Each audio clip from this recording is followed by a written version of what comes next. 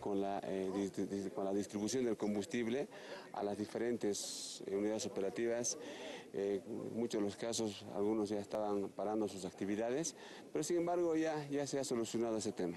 Luego de 21 días de descuido, el municipio finalmente en las últimas horas decidió cumplir con la provisión de combustible a la policía en la ciudad del Alto y así los uniformados pueden seguir cumpliendo con las distintas tareas de seguridad ciudadana. Bueno, la policía boliviana de parte de la alcaldía municipal recibe 22.500 litros de combustible. También eh, por su parte eh, también el Ministerio de Gobierno eh, nos da un aporte importante en cuanto a, la cantidad de combustible.